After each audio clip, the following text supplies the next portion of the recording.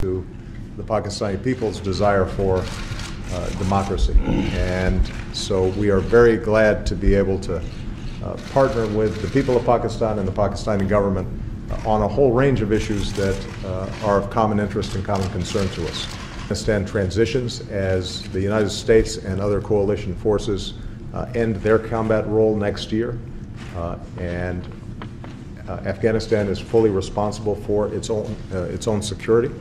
Uh, and I pledge to uh, fully brief uh, the Prime Minister and his government as we make progress uh, in uh, not only um, Afghan elections, but also uh, a long-term strategy for uh, stability in the region.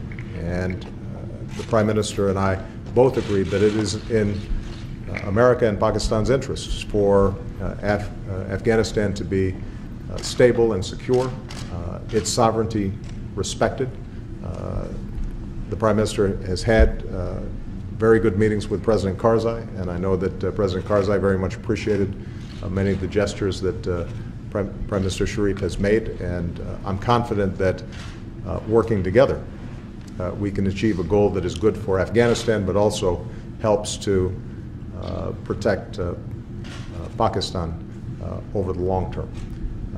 And we had an opportunity to discuss India. Uh, And the Prime Minister uh, had the opportunity to meet with, uh, uh, I very much appreciate uh, all the work that Prime Minister uh, Sharif has already done. Uh, He has great challenges ahead of him, uh, but uh, he is somebody who I think uh, understands where Pakistan needs to go. Uh, And we want to be fully supportive of uh, continued uh, success and continued uh, uh, democracy uh, inside of Pakistan. Thank you for your support to democracy and good wishes for the people of Pakistan. Ladies and gentlemen of the press, I've just had a most cordial and comprehensive exchange of views with President Obama on matters of bilateral interest and issues of regional concern. I have conveyed to the President the warm and cordial greetings of the people of Pakistan for the friendly people of the United States of America.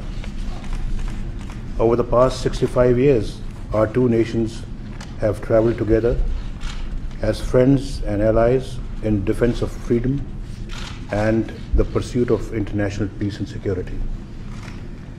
Besides shared history, our two countries are bound by a common commitment Will you allow the American government to have CIA here in Pakistan uh, to conduct cross border counterterrorism missions against Al Qaeda, ISIS, or the Taliban? Absolutely not. There's no way we, we're going to Seriously? allow any bases, uh, any sort of action from Pakistani territory uh, into Afghanistan. Absolutely not.